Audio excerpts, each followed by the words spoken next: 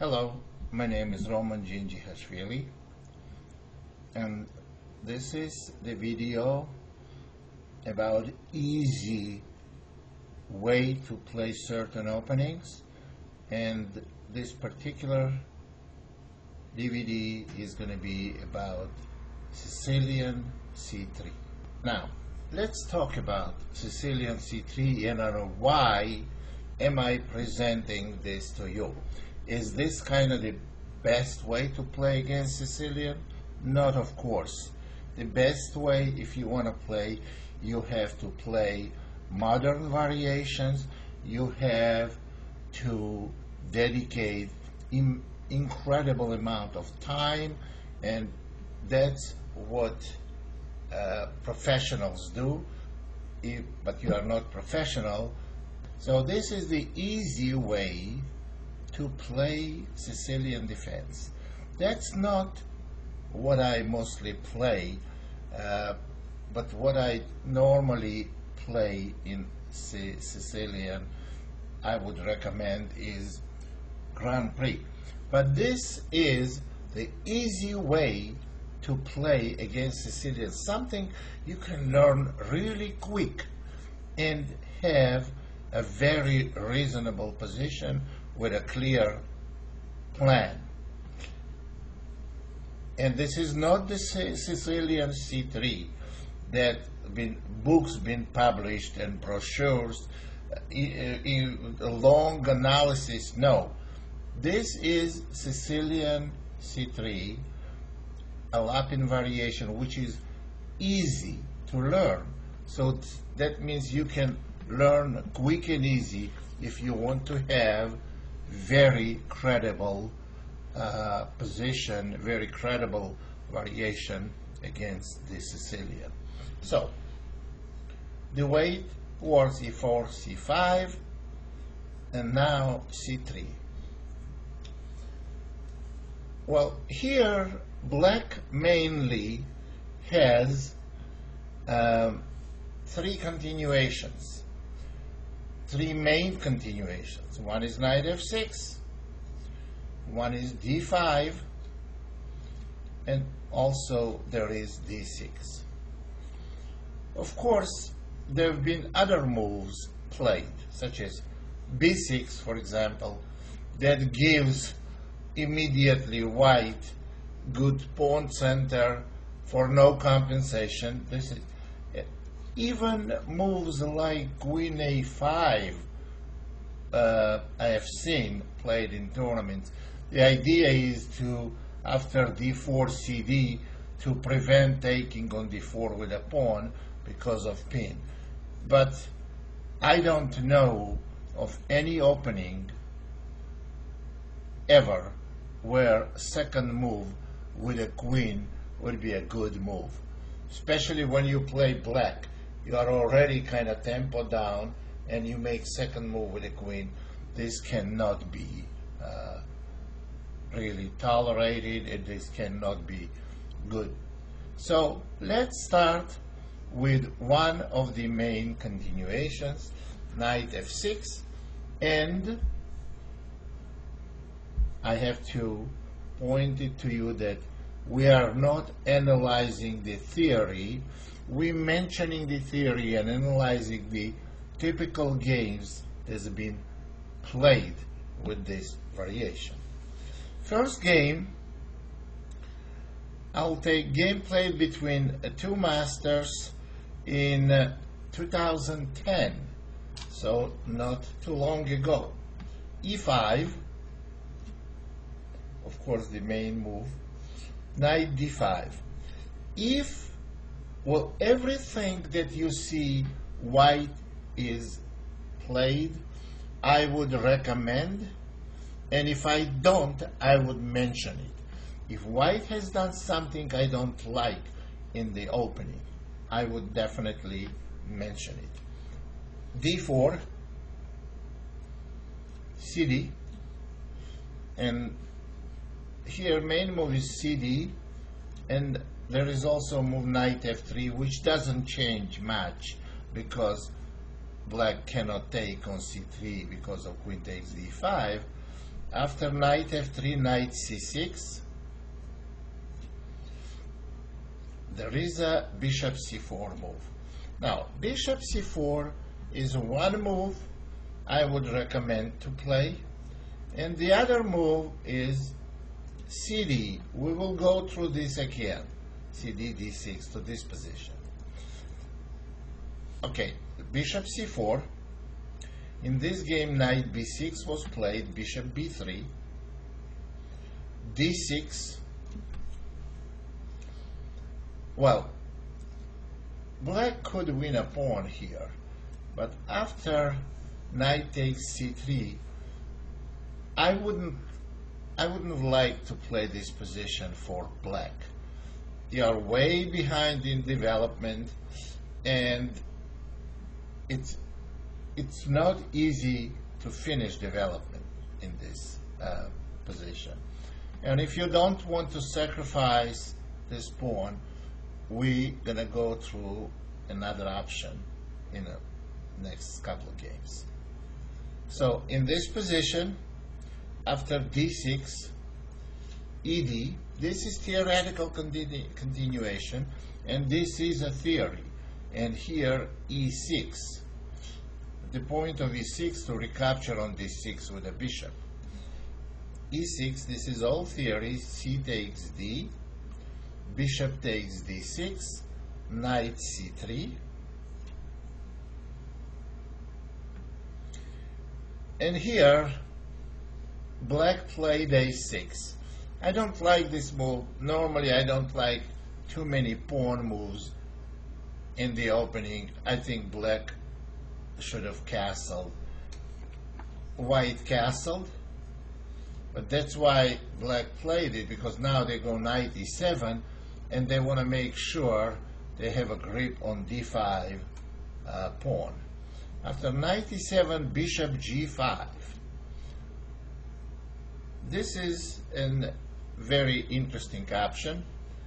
h6, bishop takes e7, bishop takes e7. Well, this position, well, it looks like very good position. Black has two bishops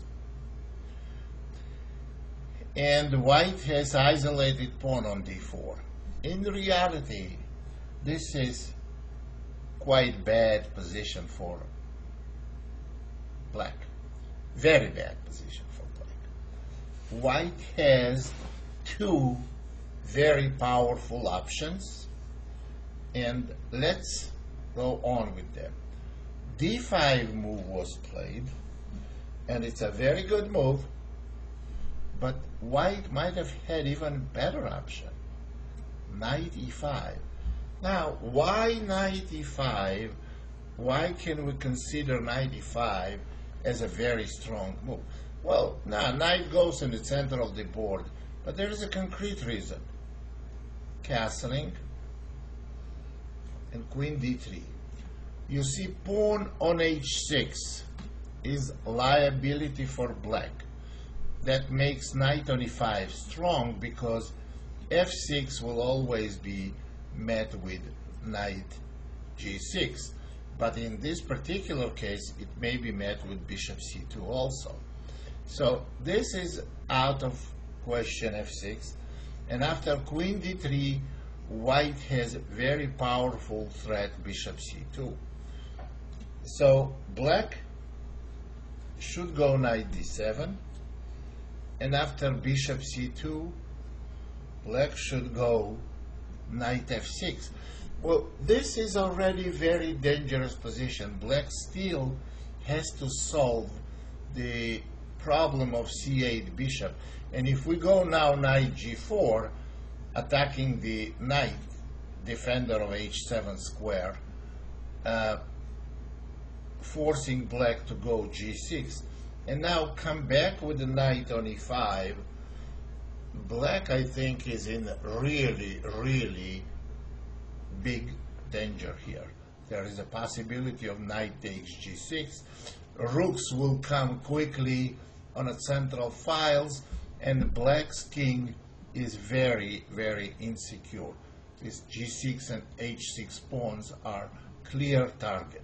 So I would say this was the best option for white 95.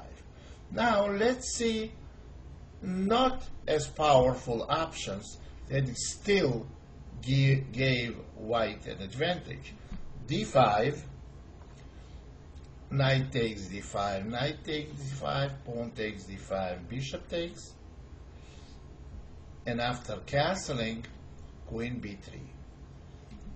Black has two bishops, but white's position is much, much better here. White will quickly bring the rooks on d and e file. They have powerful bishop on d5, weakness on b7, and black is underdeveloped. So this position is much better for white.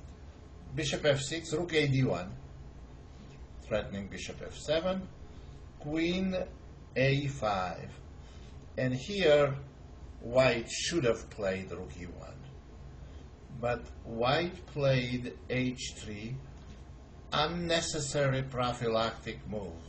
And now black could have equalized. Black could have played queen b5 and you see if we exchange queens. B2 is a target and if you go b3 then a2 can fall. So that's not such a, a good position for white but if they don't do that then black will equalize. If we go rook d2 then we have no advantage at all. So the only option here would be to go rook d2 and just to um, uh, admit that we missed an advantage. So rook e1 was the best move. And now on queen b5, we just exchange and go 95. It's still good size advantage for white. But of course, it's not nearly as good as it would have been if white played knight e5 followed by queen d3. So nevertheless, let's go with the game d5, knight takes, knight takes, pawn takes, bishop takes, castle, queen b3, bishop f6, rook a d1, and after queen a5, um, h3,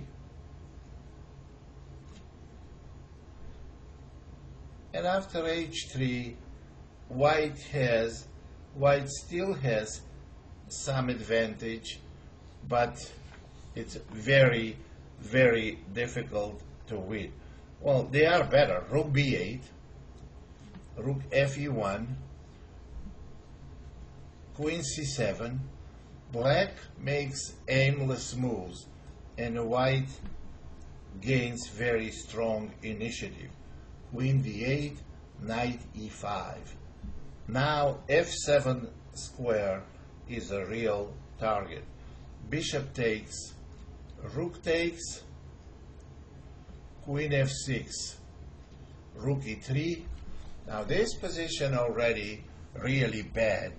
We each have a light square bishop. White's bishop is much stronger. Rooks activity of the rooks you can't even compare.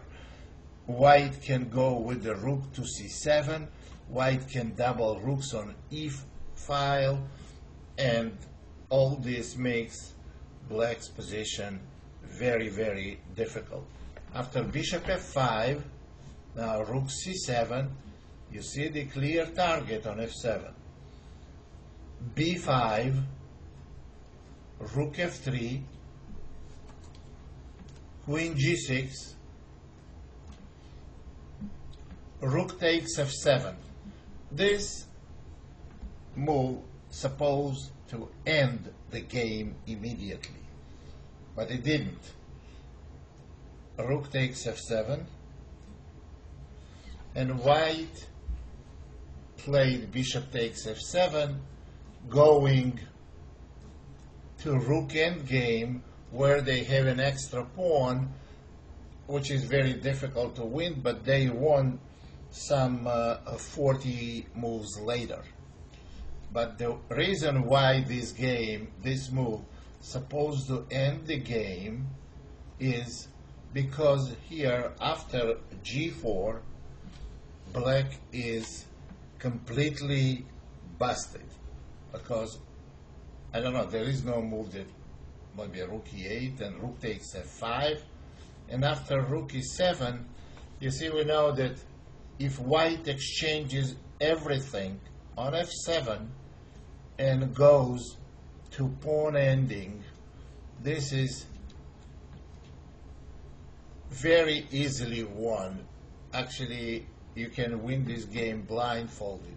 When you have an extra pawn and you go to end game, you know, almost over 90% pawn endings are won if you have an extra pawn. But it's not the same with any other endgame. Always well, of course, extra pawn is going to give you an advantage, but will never give you such a sure win as the pawn ending will. And this could have been, would have been, and should have been the end of the game. Well, that's not what happened. What happened in the game is that white, uh, instead of playing g4, went to the rook ending as I already mentioned, they won 40 moves later. Actually, game should have ended in a draw. It was like a clear draw towards the end of the game, and Black made some terrible mistakes and lost. This we we had. There is no need for us to go through with the remaining of this game. The point was, and our target was the opening, and we have done good analysis of it. Now, let's go to another game, e4 c5. This game was played between two very strong players. It's like 2500 and 2400 players. c3 knight f6.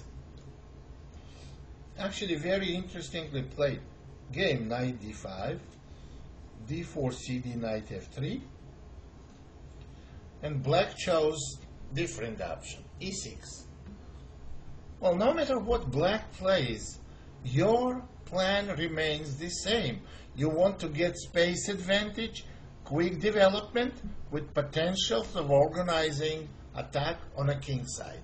Remember, this is like absolute requirement that's how you should be playing uh, this opening and not get derailed with some some weird ideas that you may think that you have a chance to play on a uh, on a queen side and some uh, weird premature attacks like h4 g4 before you conclude development it should be it should be very straightforward develop quickly, and then look for attack. Okay, after CD, b6, knight c3, knight takes c3, bc, bishop b7, bishop d3, bishop e7, the, both sides castled. Well, in this position, I would continue with bishop f4, rook e1, but the player with white decided to play differently, and which is not such a bad idea. They played knight d2. It's a lot more aggressive plan. They, white wants to go f4, support the e5 square, then go knight e4, and develop the queen. So white goes for direct king side attack. It's not a bad idea at all. So d6, f4. Black decides to bring knight to a6 and c7. Um, it's very difficult to put hands on some, to point to some move that caused disaster, actually should have caused disaster uh, for um, black. It didn't. White just won the game, but you see how it could have uh, been over much earlier than it was. So after 94, knight c7, queen h5, g6, queen h6, already black is in a lot of trouble. Black cannot allow knight g5, so bishop takes c4, bishop takes c4, and d5. Well, this is a very natural move, d5, and uh, if white plays knight d3, maybe black wants to go f5. And if white takes en passant, bishop takes, white is better, but black is far from over. So, but the reason why it should have been disaster because white played f5, and this is very, very bad for uh, black. Of course, taking is out of question, taking the bishop. So black is forced to take on f5 with e pawn. Taking with g pawn probably will end the game even quicker.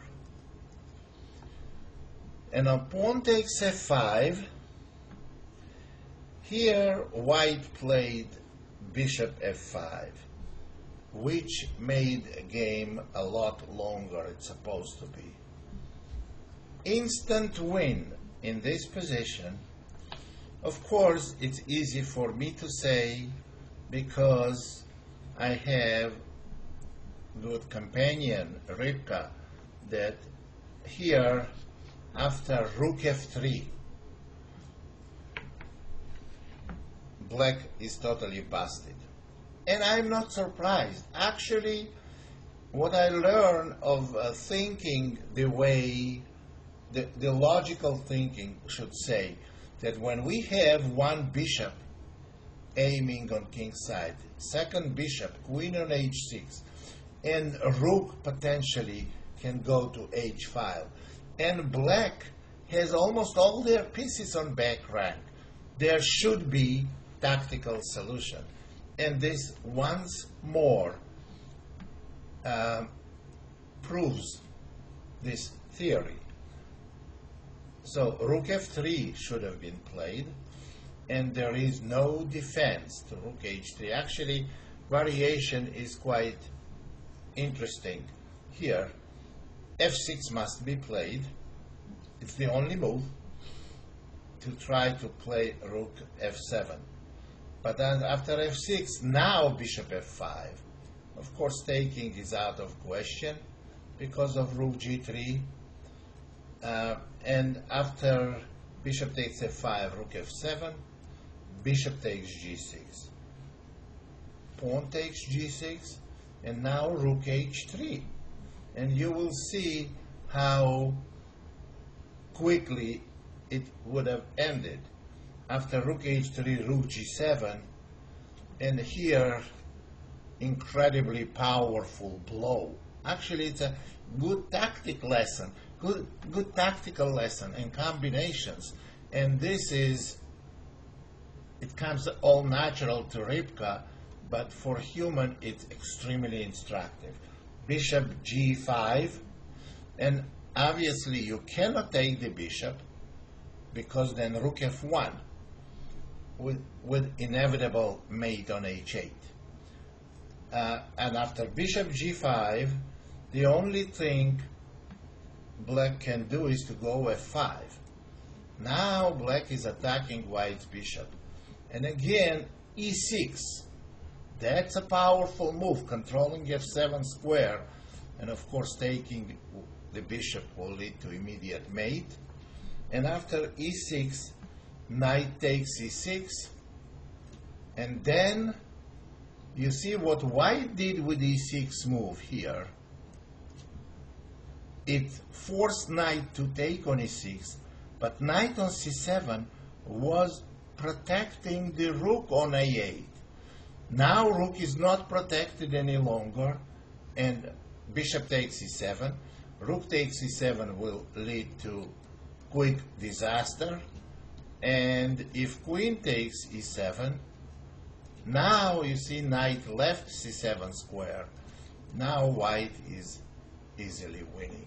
They have big material advantage and an attack. That was a forced variation. That was missed and you cannot uh, blame white for missing uh, this. Well, it's, it's not easy to see. I just want to tell you that how powerful the position. This rook f3 variation proves the power of piece aim on a king side. But bishop takes f5 was played, and uh, taking on f5, of course, will lead to quick disaster. Rook g3 is threatening, and then rook h3. So this cannot be played. After bishop takes f5, knight e6. Now the bishop may be hanging, so bishop g4, bishop g5, queen h3, bishop takes c1, rook takes c1. White still has very, very large advantage. Uh, and after rook takes c1, knight g5, queen e3, and after queen e7,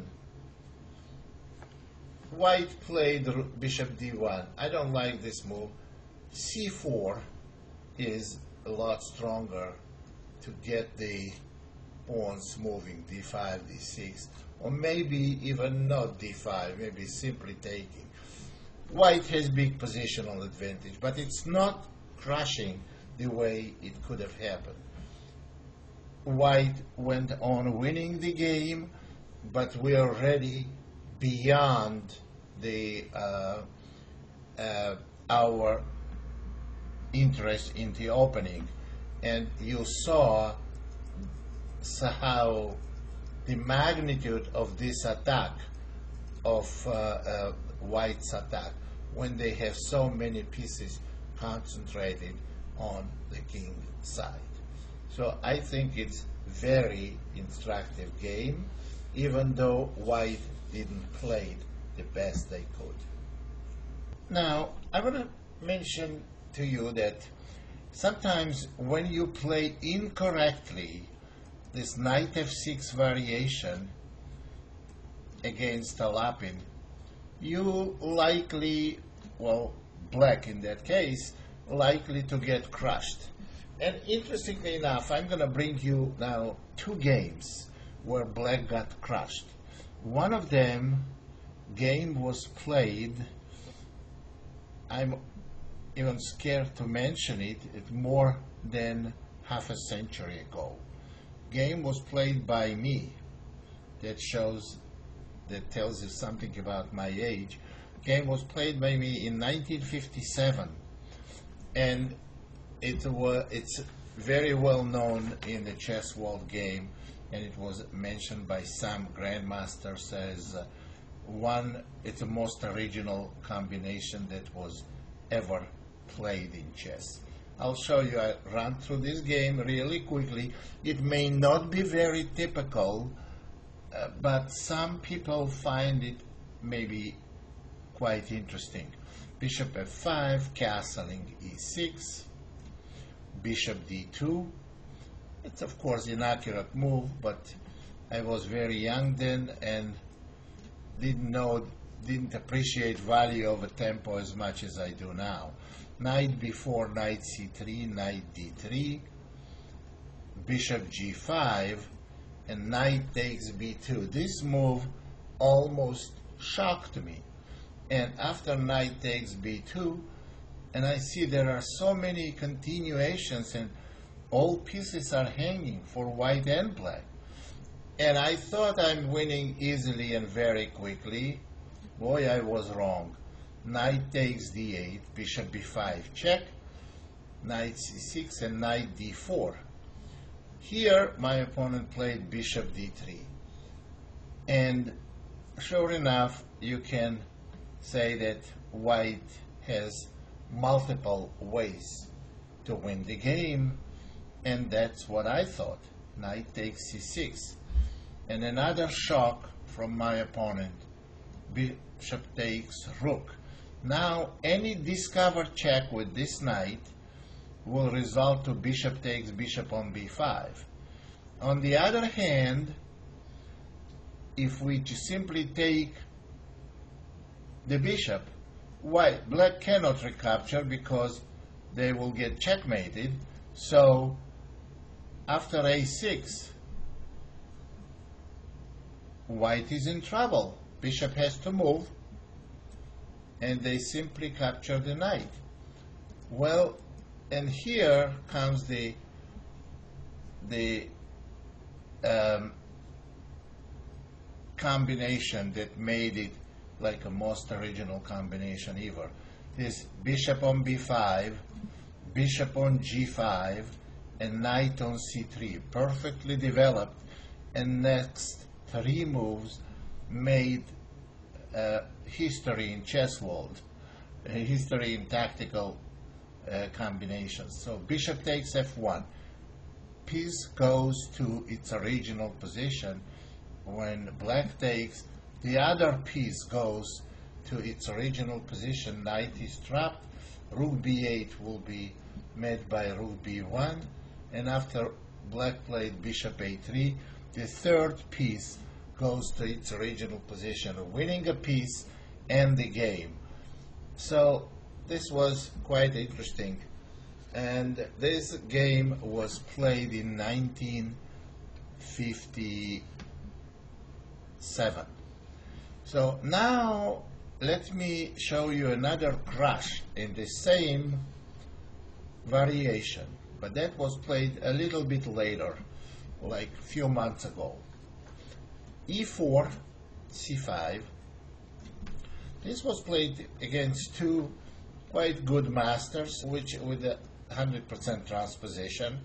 Knight c6, c3, knight f6. You see, we transpose to the same variation. Knight d5, d4, cd, cd, d6. Earlier on this DVD, I said you don't have to go bishop c4.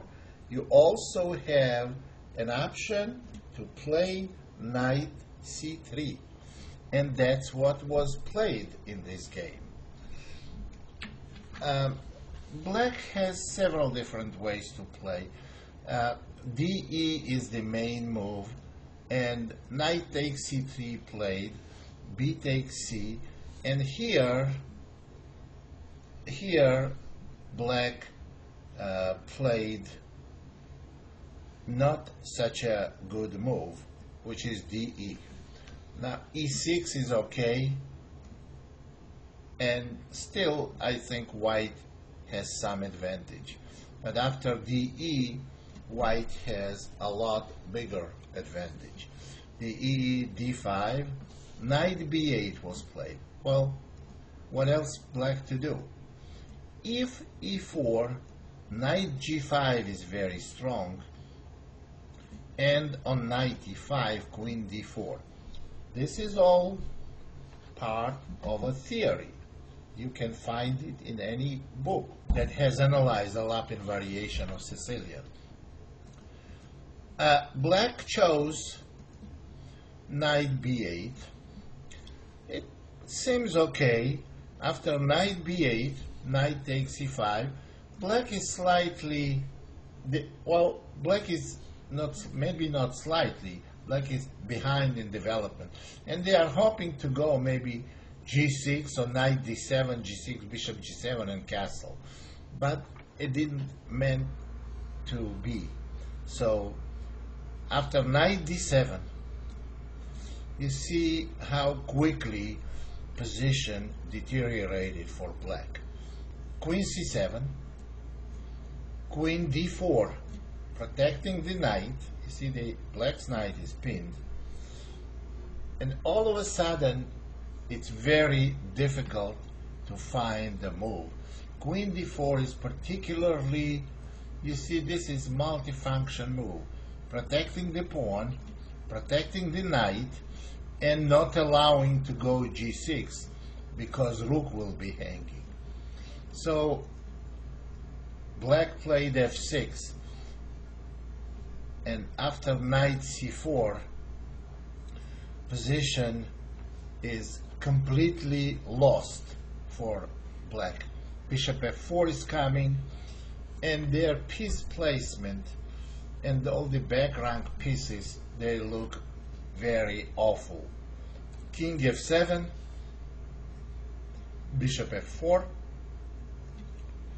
queen d8 castling knight b6 knight takes b6 queen takes b6 and position is totally lost for black. And here white made real bad move which still gave them winning advantage. They played simply queen takes b6 and won easily the end game but this is actually good lesson for you. This is type of position. How do you think in this position? How do you find the best move the only way there is no concrete combination sacrifice the only way you find the best move in those type of positions is if you think logically Let's see. White's pieces are perfectly developed. Rooks are ready to come into the game any second. And king is in a lot of trouble on f7. What do you do?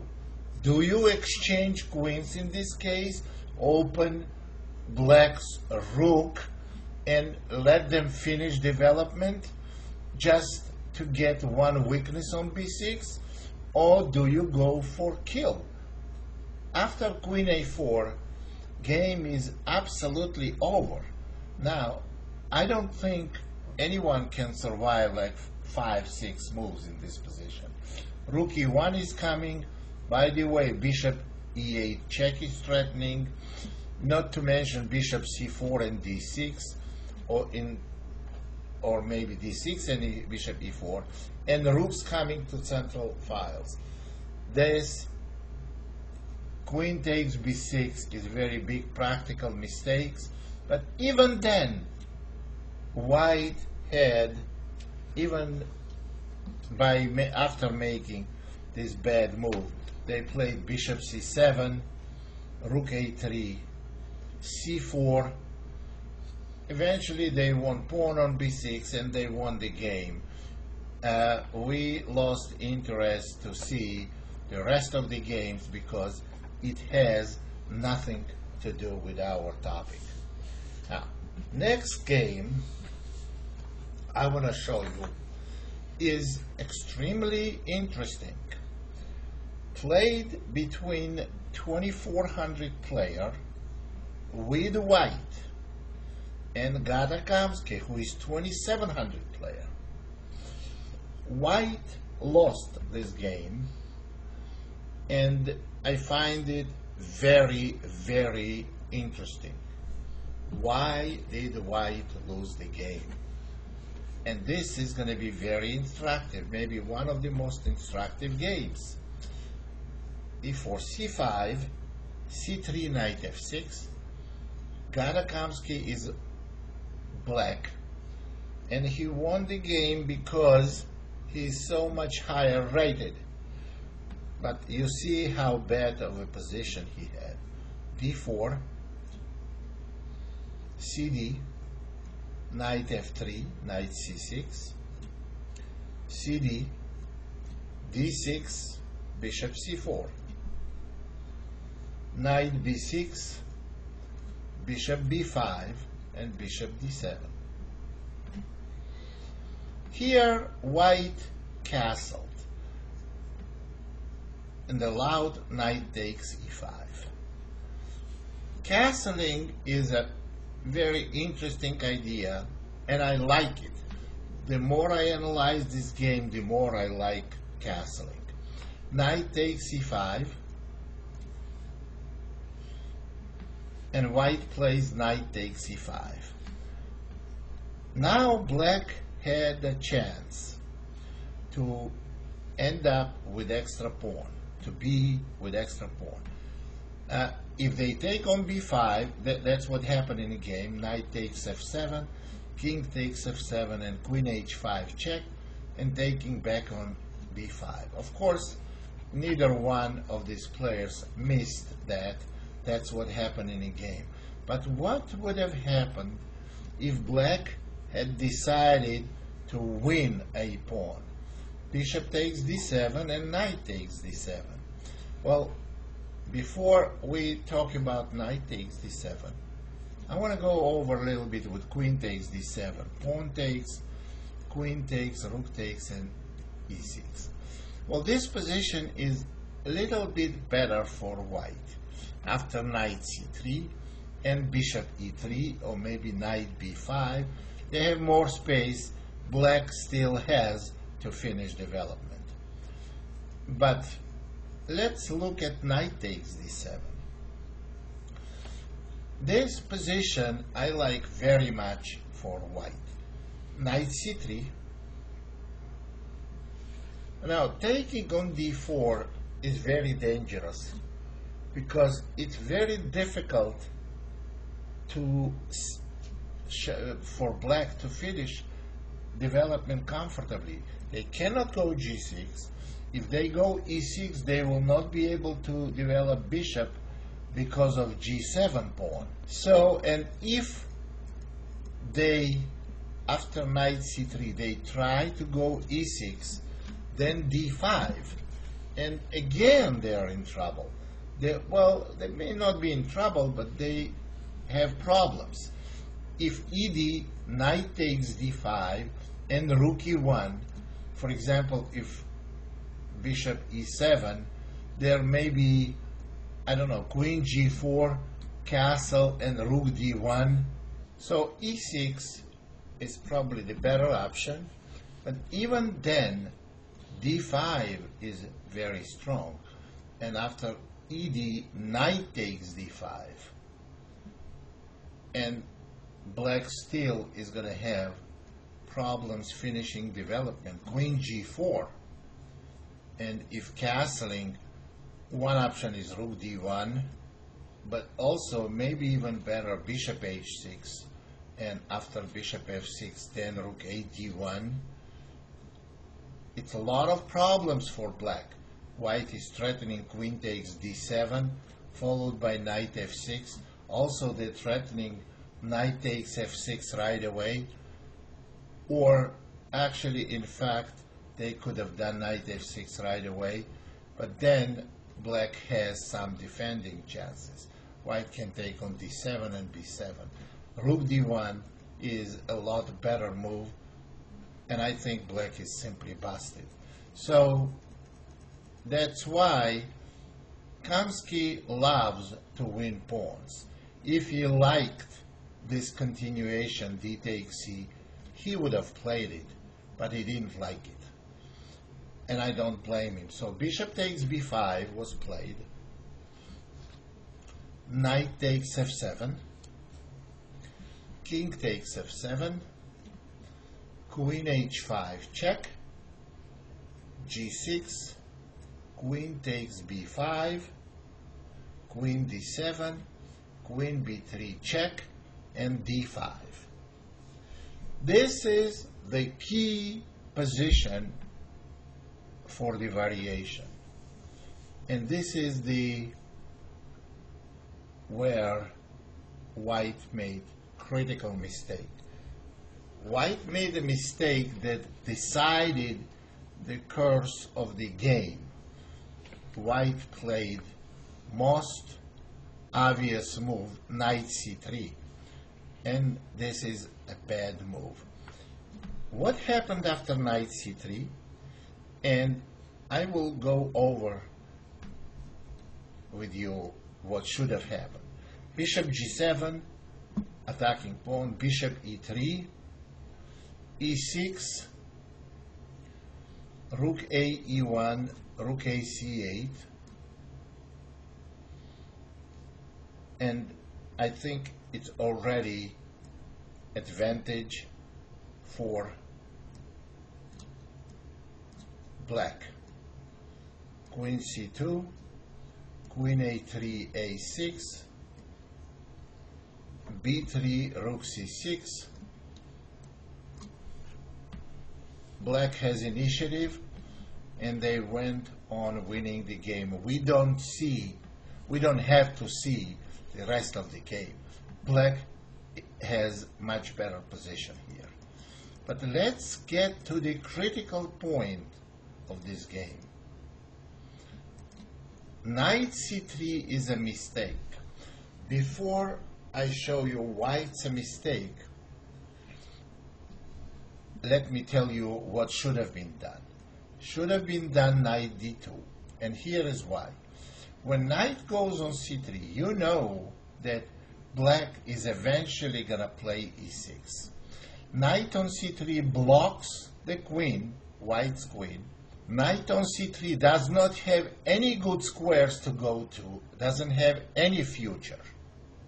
Meanwhile, knight d2 will go to most logically best square on f3 aiming to e5 and g5 the vital squares in the position and there is not much black can do on bishop g7 knight f3 you see now white may play bishop f4 and they have good grip on e5 square. And instead of putting bishop on e3 the way they did passively to protect the d4 pawn now this bishop has a lot better future. For example on rook f8 white can go bishop h6 exchanging dark square bishops which is very good for white then they have a very powerful square on e5 of course taking is out of question because black loses a queen. And after bishop h6 this is absolutely awful position for black if not lost so this is terrible position. So the result of the opening is this position. And after knight c3, white is worse, and after knight d2, they have big advantage. When you develop the knight, the farther closer to the center you develop, it's not always the best because knight doesn't go knights, the kind of pieces are, they don't go to hold center like a control center. Knight needs one very good outpost in a center. And that outpost is on e5. By playing knight c3, knight aiming to no outpost, has no future, blocks its own pieces, and makes d4 pawn significant weakness. And in the case of knight d2, d4 pawn will be key pawn for guaranteeing uh, white the square on e5 and controlling hold center. That's how huge difference one move can make in chess and I've seen examples like this over and over again. So it's very, very instructive game. The next game I want to show you is actually already from different variation. So we, I want to round up, finish with knight f6 variation, and I want to start with various positions on d5. Okay, e4, c5, c3, d5. Well, of course, we will take here, and after queen takes, maybe knight d4 first, and here black's move, and black can play various different ways. One of the ways that is not recommended for black to play is c takes d early, because now they have their queen exposed to early attack. Well, for example, knight f3, and that's the way this game went. Black played bishop g4, knight c3. Actually, this is all opening theory. Bishop takes f3, g takes f, queen takes d4, queen takes d4, knight takes d4, and knight b5. This position is known in theory as very, very bad for black. And this game didn't change this evaluation. Uh, the move was played castle. Knight c2 check is not good also, because after knight takes a1, knight c7 check, king d7, knight takes a8, it's very difficult to trap the knight on a8 when after bishop e3 white attacks the a7 pawn to free the knight and knight on a1 is completely doomed. So this is bad way to play and black castled in this position. And knight takes d4 rook takes d4 black has an extra pawn but completely lost position. Rook d6 now bishop takes a7. It's very important pawn to get our pawn back and also to keep black's king from hiding on b8. So after bishop takes a7, knight f6, bishop b5, g6, rook c1, king d8, bishop b8, and after rook d5 a4 white has two bishop two bishops very strong attack with possible bishop c7 check and black is completely busted. There is absolutely no need to go any further than that. Now this game that we will look now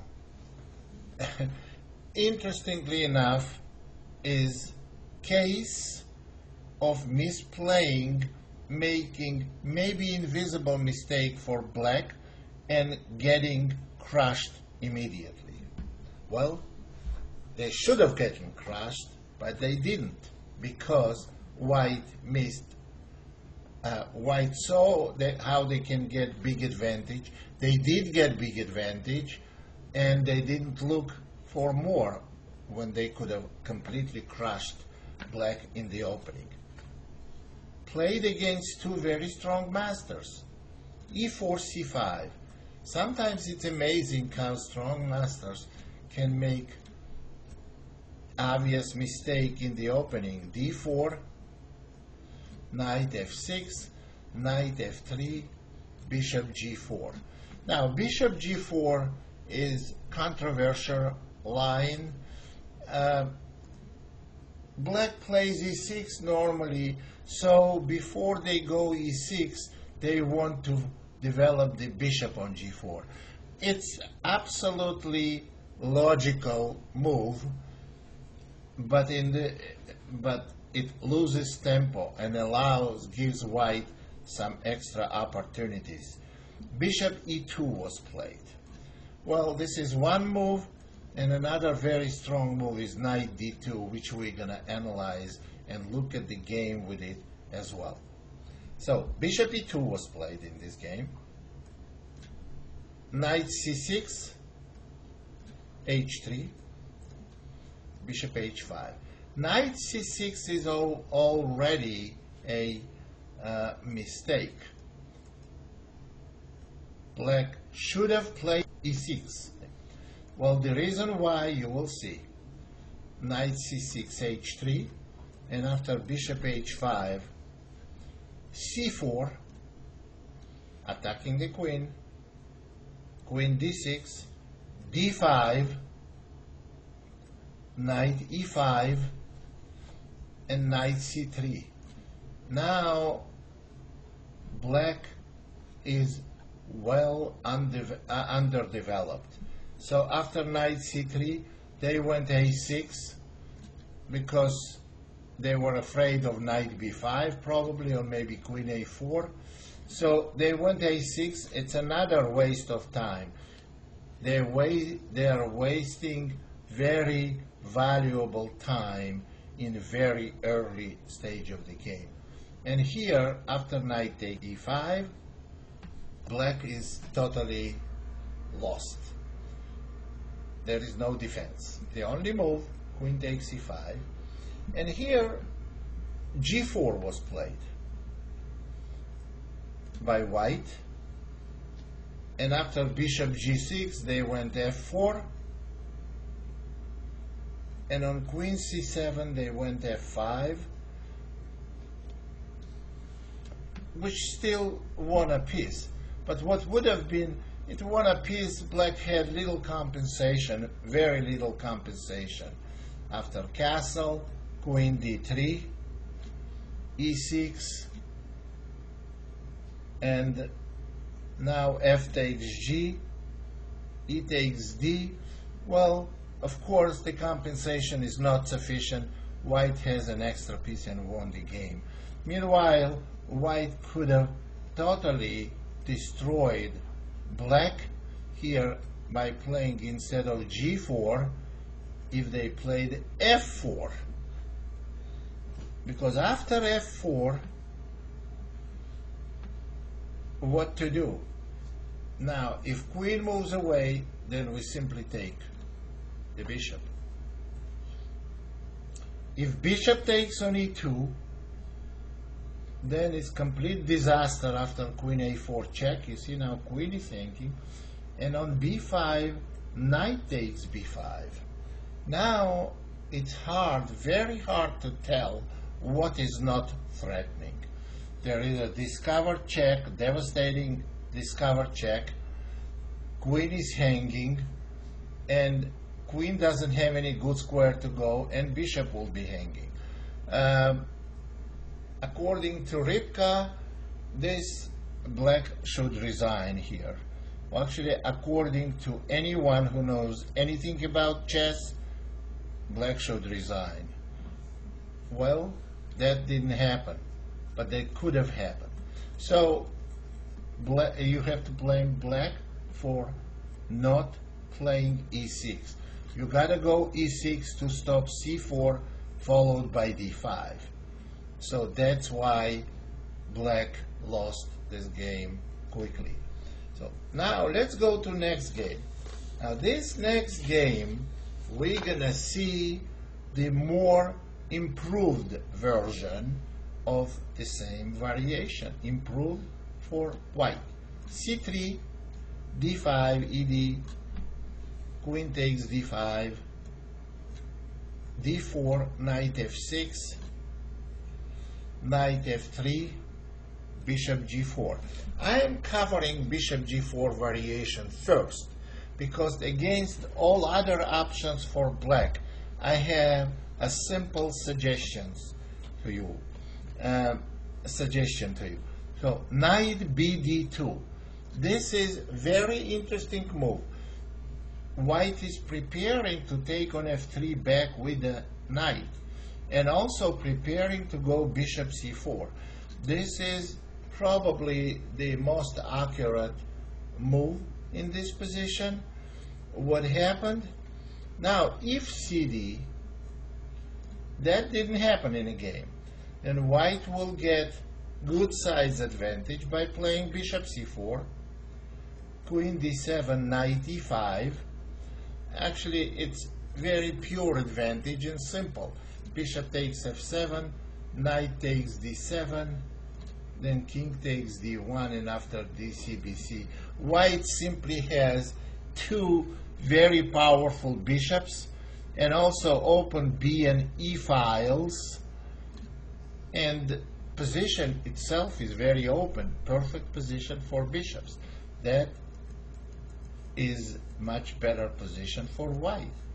So in the game uh, that didn't happen. Black played e6 then queen a4 check.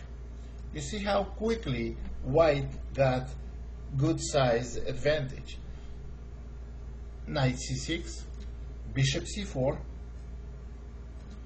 queen d6 now bishop b5 intending knight e5 bishop takes f3 knight takes f3 bishop e7 d takes c queen takes c5 bishop e3 queen d6 rook d1 queen c7 and knight d4 now what more would you want to have for white? White is here most probably winning a pawn. They have two very strong bishops better development and and d file i mean you don't get half of it in any opening if black plays correctly. And here, black seemingly didn't make any big mistakes, and they have absolutely terrible position. We don't have to see whole game after that. Uh, we'll just go a few more moves. Uh, what happened after knight d4, castle, bishop takes c6, pawn takes c6, queen takes c6, and after queen a5, actually queen b7 is a very strong move. Idea is to go knight c6. Well, and also attacking the, you see the uh, bishop on e7. Now here is black totally helpless. White has extra pawn on top of all our other advantages. So white won real quickly in a few moves. That's this game is history. And now I want to show you positions without bishop g4 in this same variation. So here black does not play bishop g4. So what they what they play is e6. And after e6, I recommend move knight a3, not because it's the best move. It may not be the best move. But one thing is for sure. This is the move that gives you very comfortable position very easily and you have clear plan. Actually you have an advantage some advantage as well. After knight a3 let's see the first game. After knight a3 bishop e7 bishop e2 castling. What's the idea of knight uh, a3 move? Eventually, you're going to b5. And stopping knight b5 wouldn't be a good idea either, because then white goes knight c4, gaining tempo because of the knight b6 threat. And if it's necessary, knight will go to e5. Well, also, if you take on d4 with black, white is not going to recapture on d4 with a pawn. They're going to recapture on d4 with a knight. And not this knight, but the other knight. Threatening knight c7 check and black queen probably has to go back and knight takes d4 gives white very clear, very easy position to play without any effort, practically. I would like to get position like this in uh, any opening. So now what black did is castle. White went knight b5. And now black stopped with knight a6. But knight a6 is not such a good position for knight. First of all, knight doesn't have any future on a6. And secondly, it makes knight on b5 uh, very comfortable feel because there is no a6 anymore. So after knight a6, castling, now queen d8, bishop f4, knight d5, bishop g3, and after cd, queen takes d4. Now this position is already real bad for black. After queen b6, c4, queen takes d4, knight takes, f3 takes d4, and after knight f6, bishop f3, and there is no need to analyze and to evaluate this position.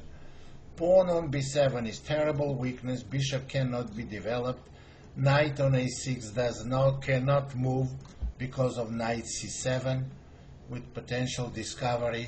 So black has too many problems for no compensation. Normally, when you have such a so many problems on one side, you should have something on the other side. They have nothing on any side. So position is very bad and lost. And how that's how black did. They lost real, real quickly. Here is another game, also with the same e6 variation. e4, c5, we are still on second move d5 variation. Ed, queen takes d5, d4, e6, knight f3, knight f6, knight a3, knight c6, and white goes bishop e3. They will play knight b5 after white takes on d4. Uh, they played bishop e3, knight g4. This is also very interesting. Bishop c4, knight takes e3, fe, queen d8. How do we evaluate this position? White lost two bishops, but they're going to have f file and potentially chance of organizing a kingside attack. Let's see what happened in the game. This is also, you don't have to play like this, but this is another option. New plan, new position and they are all favor white. White castled, bishop e7, e4, cd, cd. Now white has very strong center. Taking this knight will damage white's pawn structure, but comparing to the activity they can start with potential d5, this is meaningless. So after CD, CD, Black Castle, and King H1, it's very prophylactic move, stopping from possible uh, knight takes d4 and bishop c5, pinning against the h1, uh, g1 king. King h1, a6, knight c2, b5, bishop d3, f5. Now queen e2. Position after f takes e is extremely dangerous for black because of Knight is hanging, pawn is hanging on h7. Actually, it's not even playable. Um, after queen e2, bishop f6, and now white made very strong move, a4.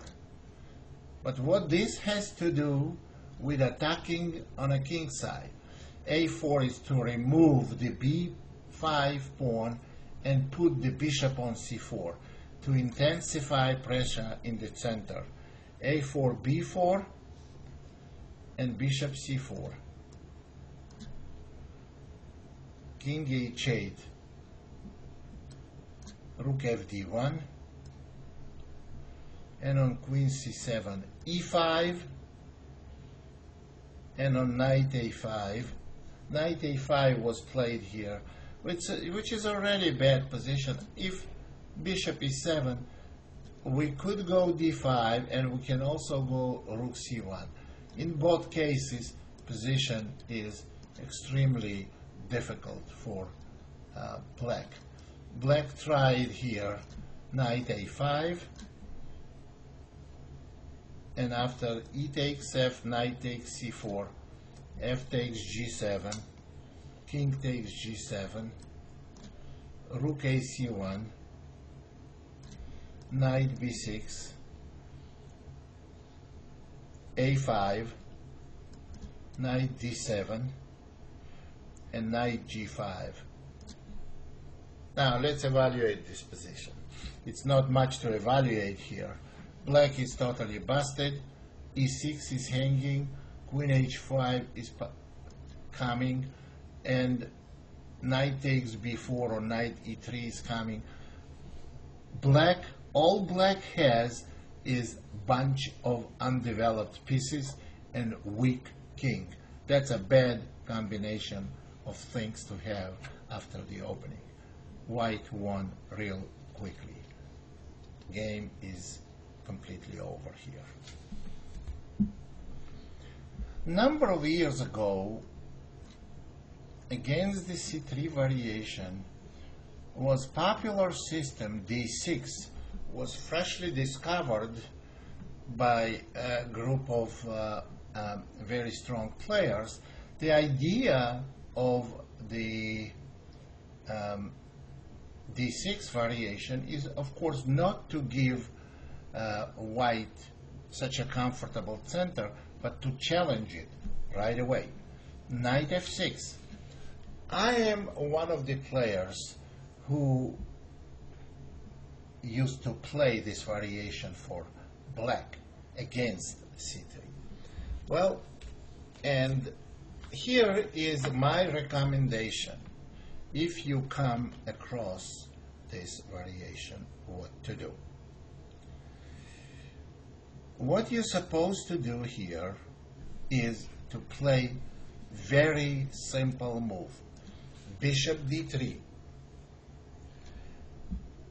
White can win a pawn here by playing d takes c. The reason why I say to win a, to win a pawn because black will never recapture on c5 because they don't want to have this position. And they cannot capture on e4 because there's queen a4 check, winning the knight on e4. That's why I said winning a pawn. But that's the idea of this variation for black. Now they would go knight c6, and again, I will go quickly through some of the variations with this, but it's not really necessary, but it for information purposes, I will tell you what is going to happen here, because what is the essence of this sacrifice?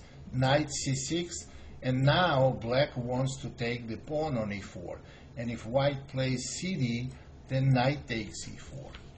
And d takes e was played before, queen takes, king takes, knight f2, king e1, pawn, uh, knight takes h1, pawn takes, rook takes. Now, I have played this position for black. I've had it. This is not good for white. Black has an advantage. Even if white captures the knight on h1, it's not good. And as I mentioned, something you are not gonna have, you don't have to know. Okay, so this is the why black sacrifices. They're hoping white to take on d6 and then they take on e4. And if white doesn't play d takes e, then black will recapture on d6 with a knight. And if white goes f3, protecting the e4 pawn, hoping still for favorable endgame, then black goes d5. It becomes rather complicated. I will tell you this. These complications are the favor white, but not as much as the variation that I am going to suggest for white for you to play. And also, it's a lot more complicated than I want to suggest you to play. So, why should we play more complicated line with less advantage than we can play less complicated line with more advantage? So, the move I want to recommend you strongly is bishop d3 and black can play c takes d or the black can play g6 well there are few important uh, pointers. C takes d c takes d g6 you have to know something very important here. You cannot let black to put pressure on your d4 pawn. For example, do not play knight f3 where white can play bishop g4 and eliminate the protector of pawn on d4 and then put pressure after bishop g7 and knight c6 on your d4 pawn. Well, there are two ways to play. You can go knight e2 to stop bishop g4 because then we go f3 or in the game that I'm gonna show you now white played h3 white can afford tempo wise to make this move. Bishop g7 it's very well worth tempo. So knight f3 castling. Knight c3, knight c6, castling, and black played e5. Well, d5 is pretty good for white, and also what is good for white, what happened in the game. In the game, white simply took on e5, black took back, and white went bishop e3. Now, what do we have? We have almost symmetrical pawn structure. Bishop on g7 is, it's kind of very passive, almost dead bishop there, and white has chance to quickly get control on d5 square when black has difficulties to control d4 square. So after bishop e3, h6 was played, and I don't particularly like bishop b5 move. I like bishop c4 a lot better. But even after bishop b5 that white played, knight h5, they played a kind of weird strategy, queen c1, but they still got an advantage. Knight d4, attacking knight on f3 and now after uh, knight d4 bishop e2 well that's why I didn't like bishop b5 move it looks like it didn't produce any results. So after bishop e2 knight takes e2 knight takes e2 but black is still having problem. Now the h6 pawn is hanging and after g5 bishop c5 rook e8, rook d1, queen f6 and rook d6, white still has clear advantage. So this position can take some misplaying and white has still maintained advantage and rook d1 came. White is better.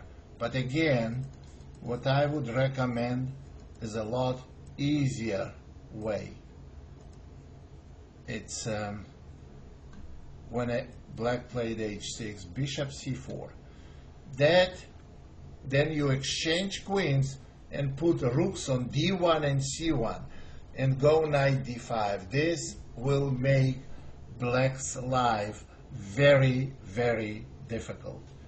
And that's a good size advantage for white. Let's go to next game. Well, next game, black quickly got real bad position. e4, c5 with the same variation, c3, d6, d4, knight f6. d takes c. Well, this is the way we don't want to play. But the reason I'm bringing this game to show you that after knight c6, f3, now white, I mean black must play d5. Because if black plays DC the way they did, then we get the position we could get uh, the other way if we even after bishop d this is the type of position after queen takes d8 knight takes d8 knight a3 this is much better position uh, because knight on f6 is passive uh, white has good outpost on c4 and on b5 game was played on a lower level, but to show you the position and to indicate that white has good size advantage is 100% correct in this case. So game that is coming next to our attention is was played on very high level. It was played between two highly rated grandmasters. It was played um, between 25 plus federated grandmaster Narciso, Narciso and with the black played GM rated 2650. So let's see the opening. Quite interesting. E4 c5, c3 d6, d4 knight f6 bishop d3 and here that's when I mentioned that black can play immediate g6 white goes h3 and remember we said we want to go knight f3 not to allow bishop g4 h3 bishop g7 knight f3 and both sides castled CD, CD. This is clear advantage for white in this position. White has center that black cannot shake, and if black plays the way they played in a previous game, as I already mentioned, d5 is okay, and de is okay. But black played d5. This is completely different plan and not very good one. e5, knight e4, and rook e1. Well, in the game, bishop f5 was played, protecting the knight. And after bishop f5, knight c3 white is clearly better. And this is interesting position to know. And uh, uh, bishop takes d3, d3, knight c6. Well, to some people, inexperienced people, may think that black is doing very well, but they don't. The reason why? Uh, well, it looks like black may have outpost for knight on c4, better bishop, but nothing can be farther from truth. Well, let me explain why. White's bishop on c1 is much better than bishops on g7. Even though there are pawns on light squares and white pawn on dark squares, bishop on g7 does not have any future. Completely blocked with uh, white's pawn structure c3 d4 e5. Also, when there are there is a rule when there are seven pawns on board for each side. There is in 99% of the time there is no good bishop. Well if there is then white has it. And if there is a bad bishop then black has it. So that's exactly the case of good or bad bishop definition with a lot of pawns on the board on the board.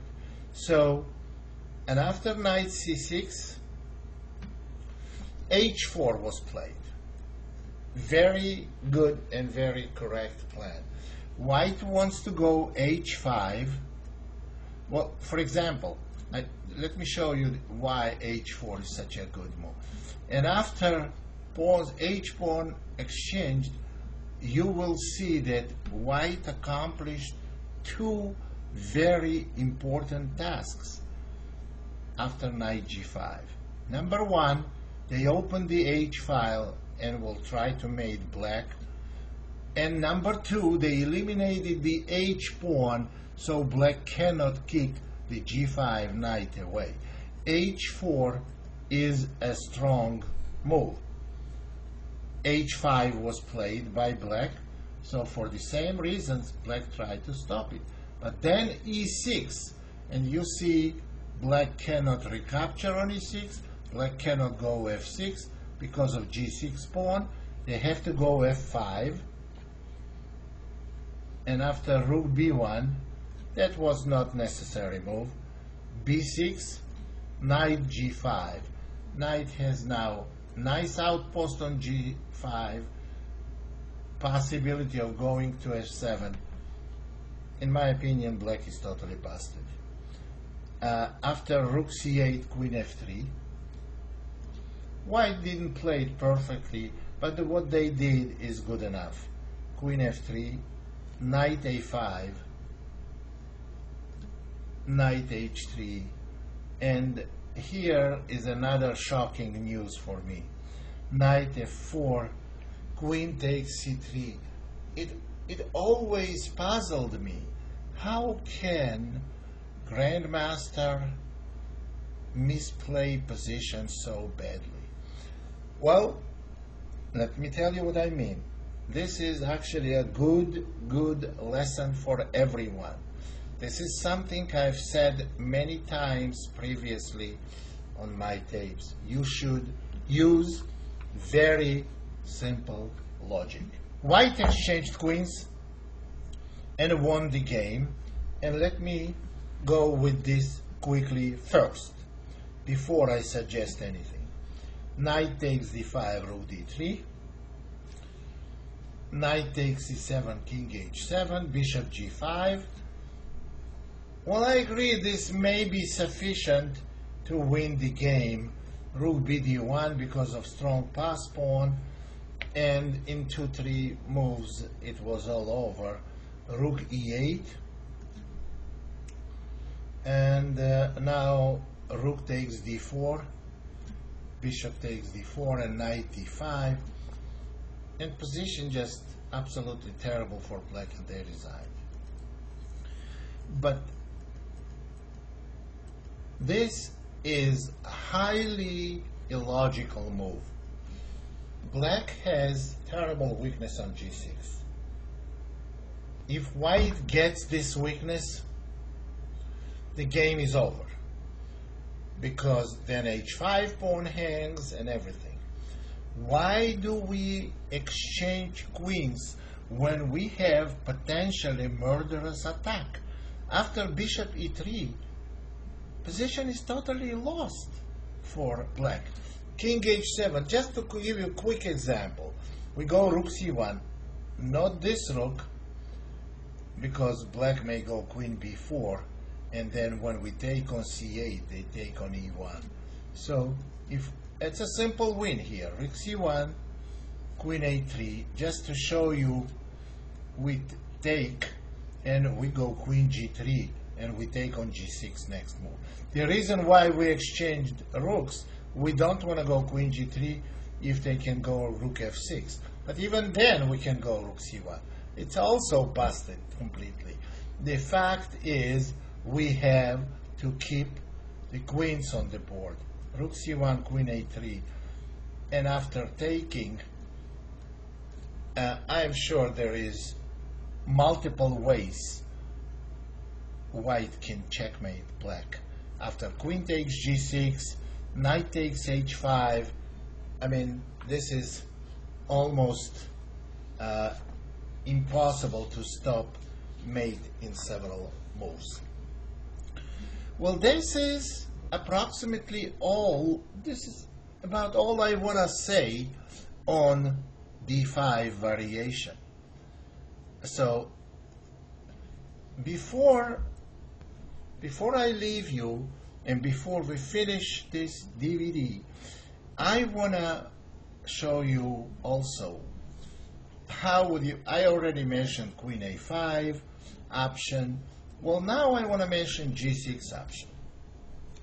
Well, g6 is positions are very well known to me because I play accelerated Dragon for black and try to, uh, you know, make this position very well playable. Let me explain something about g6 position and show you one game of mine that I played with white. d4 must be played here. What I want to tell you is that position after knight f3 and bishop g7 and d4 they are okay for black. Because black is going to take cd cd d5 ed knight f6 bishop b5 and knight d7 this position is okay for black. But position with knight on g1 and bishop on f8 is not. Why? So now let's play knight g1 and bishop f8. It's like we had this position um, without those moves.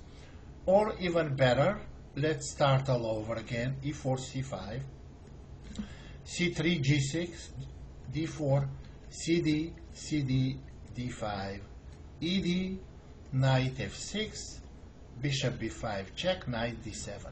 You see knight is on g1 and bishop on f8. Why it's such a big difference? I will show it to you now.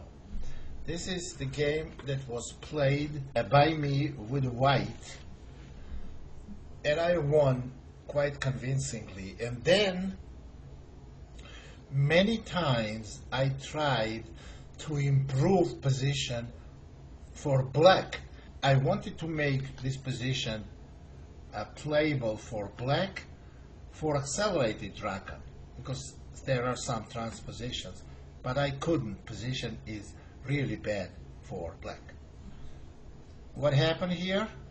Bishop g7, d6 and you will see now why knight on g1 is very important. ed, queen e2 check, queen e7, bishop f4, attacking d6 pawn, and d5 is really bad move positionally uh, because white is simply going to take go knight f3 and knight e5 and d5 weakness is crucial.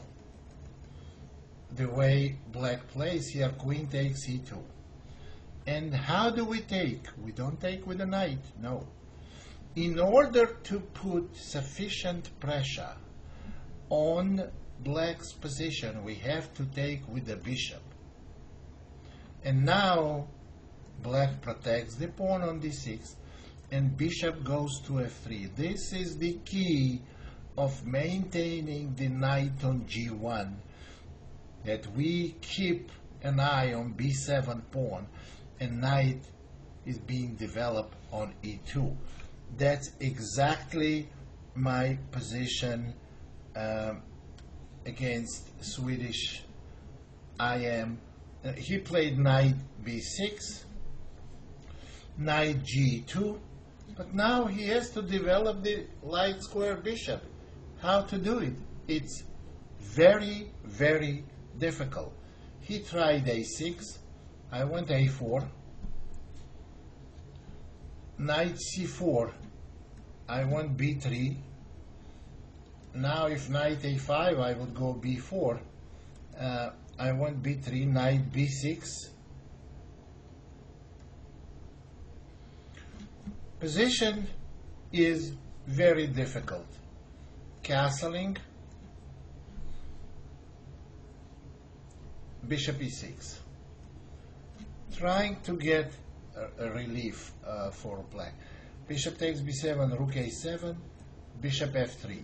Now taking on b3 is not possible because of rook b1 and you'll see black is going to lose a piece and position is uh, black is simply down a pawn for hardly any compensation. Well just no compensation. Knight bd5 bishop g5 king d7 bishop takes f6 knight takes f6 and simply activate the uh, pass pawn extra pass pawn, rook b8, b5, d5, trying to stop white from playing bishop c6 check, d5, rook f2 b1,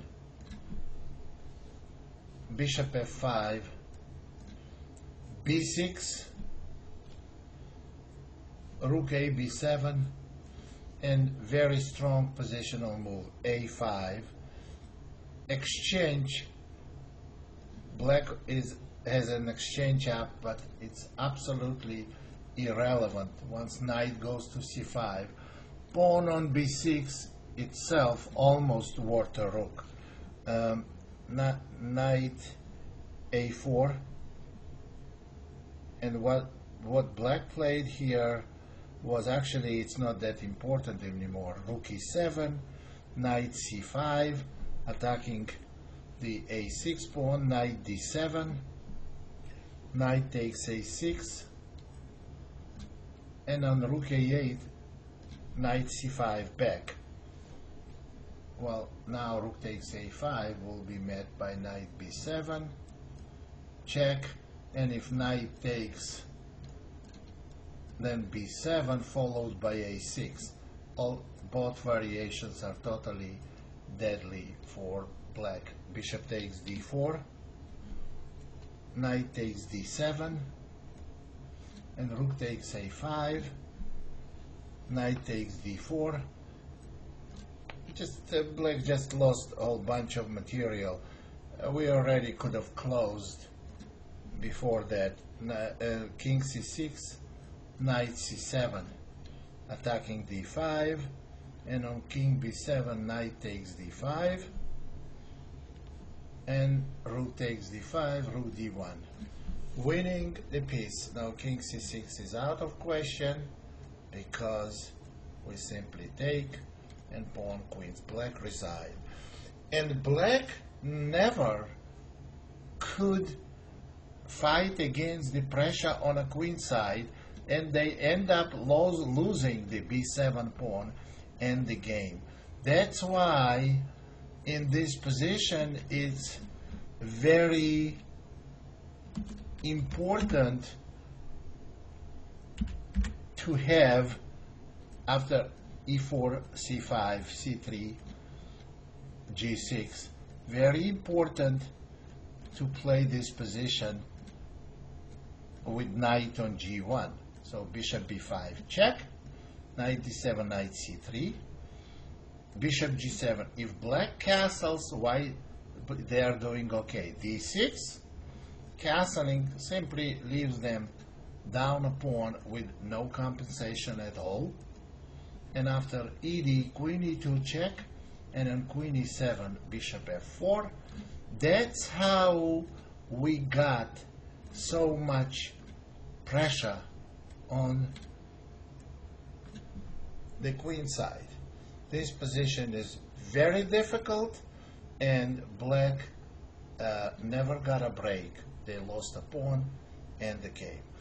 This will conclude my preview. Well, it's not really a preview, it's a abbreviated version of C3 Sicilian Alapin variation, where um, I am the reason why it's abbreviated, because not because I miss a lot of things. Yes, I did miss a lot of things, but I the important points that you have to know and variations you have to know and principles you have to follow.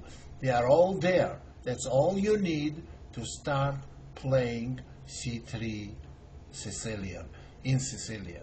And if you think this is insufficient, it's always helpful to look at more games played by strong players, and you can find a bunch of them in the database.